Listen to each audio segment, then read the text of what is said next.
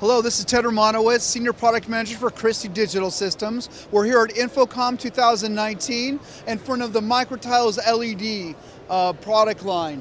Um, this product is differentiated. It has amazing image um, capabilities that are optimized for life. It allows for amazing artistic creativity. Um, not only in the physical structure, but also the system design. And finally, it delivers mission critical reliability, lower total cost of ownership by being easy to install, service, and maintain. Um, one of the big news things that we're announcing here at InfoComm 2019 is Christie Microtiles is now TAA approved by the government of the United States. So it can be used in government applications for military and all other agencies. It's a very uh, major announcement we've made.